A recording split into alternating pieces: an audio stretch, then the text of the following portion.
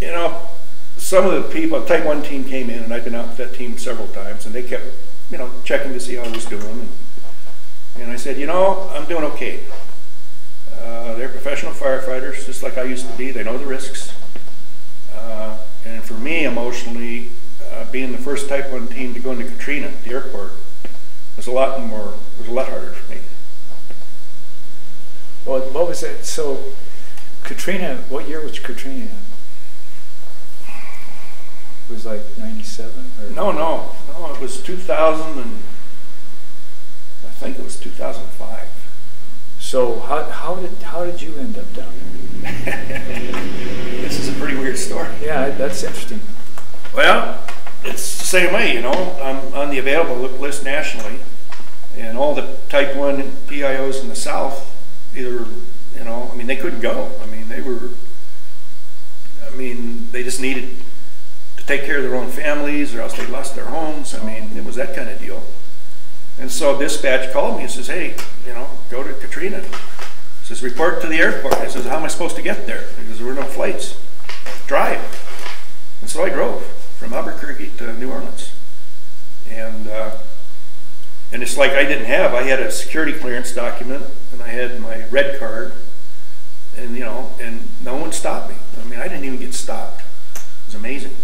But there was so much unor or organized chaos maybe that, you know, and I remember going down, oh, I'll misspelled or misstated Pontchartrain Lake, or whatever it was. And there were abandoned cars everywhere. There were alligators, dead alligators. I mean, it was just. And when I got to the airport, it so happened. I mean, I didn't know where to go. I didn't know where the team was, and uh, I happened to know the number two guy at FEMA. That was not FEMA with the, uh, the airport security, uh, TSI, and uh, he told me where the team was. I ran into him, and uh, you know that was just there was one of me, and our job was logistics because we took care of the military, the, the National Guard, all the various medical teams, you know, with food and showers and you know that sort of thing. And then we had a couple of CC crews who were uh, uh, running the sticks for the helicopters whenever they were coming. CC is what? What kind of crew? Conservation Corps. Okay. And uh, I mean, it was just it was different. So what what what happened uh, under that incident that you were involved in that left such a big impression on you? Well, you know, you, school buses would drive up. There were 10, 20 helicopters flying at any one time. People getting off with a black bag, garbage sack, with all their possessions, not knowing where they were going to end up. There were planes coming and going. I mean, it was just. So you were transferring people out of the area onto Yeah. planes? Yeah. It, what, so that was like an incident command team that was part of a bigger set of teams? Is that how that worked? Uh, It wasn't it the- should have been, but it wasn't. We ended up, the team I was with was the red team, uh, Southern Red Team. They ended up uh, being the ones that did plans, had the morning meetings, the evening meetings. I mean, because the other it was the- entities weren't, didn't understand the incident command system. And they didn't know how to organize so that, well, you know, there was ways that things were going to get done in an organized fashion. So it became the incident command team. Well, I don't think they ever called us that Yeah. because we were just there for logistics. But, you know, a team did a good job. How long were you there? I don't know if I was there the whole two weeks or it was close to the two week period. And then I drove home. Then I went back down. They called me to go out in an area command team in Mississippi. I'd been home maybe a week. I'd uh, never been on an area command team, but basically that was going around to all the other teams. By then we had 10 or so teams down there, type 2s, type 1s, just checking in on them to see how they're doing, do they need stuff.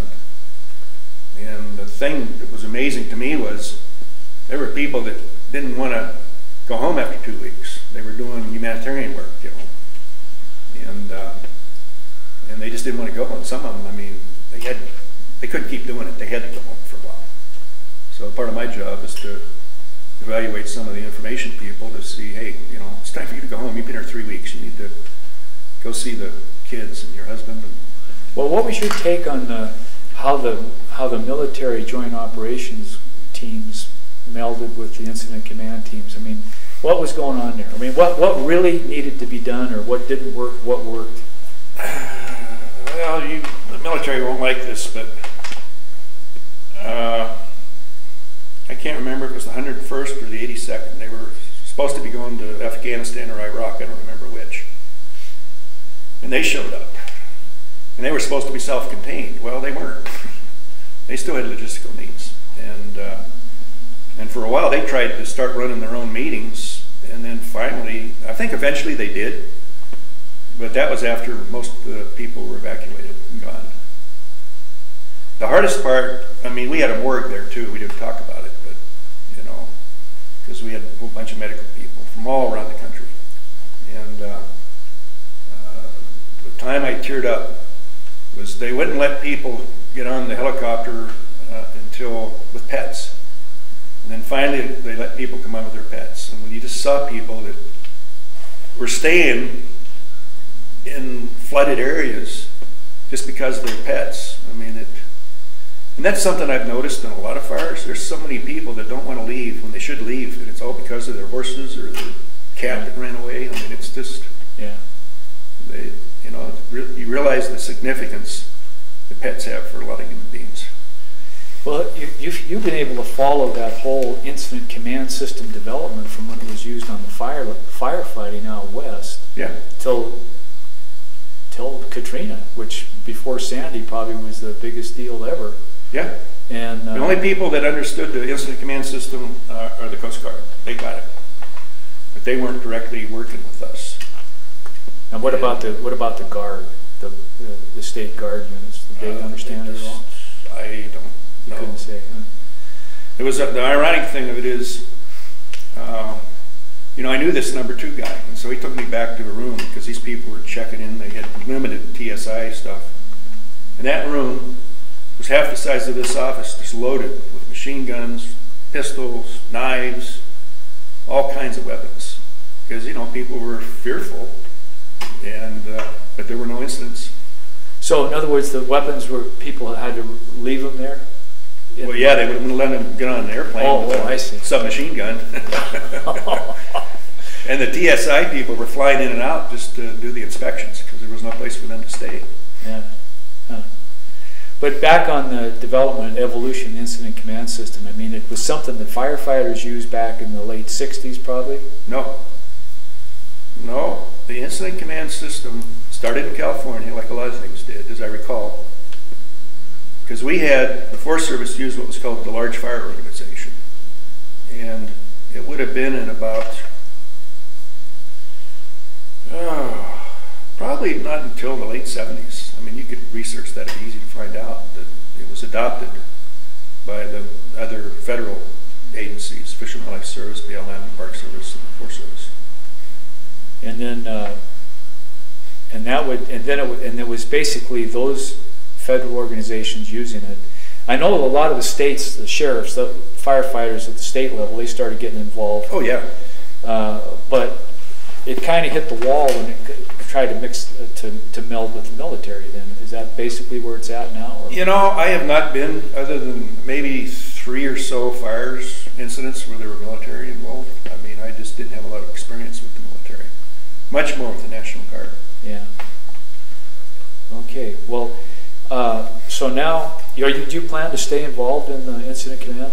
Well it's like i it's like i told alicia my wife i said you know I've been on hundreds of fires, and I'd really like for Yarnell Hill fire not to be my last fire. So how's that for an answer?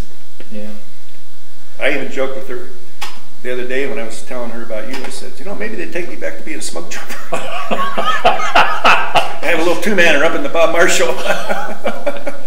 yeah, that's a good life. Well, is, is, there anything else you'd like to say? Uh, no, I mean, it, you know, it was a good career for me.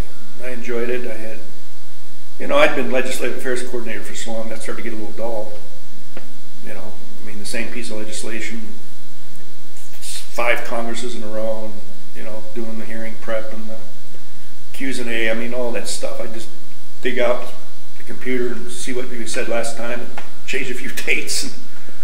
But I think staying involved in the incident command part of it, being a type one information officer, that was good for me. I mean, it got me out of the office. You know, you, things weren't nebulous. It was clear, you had a clear mission.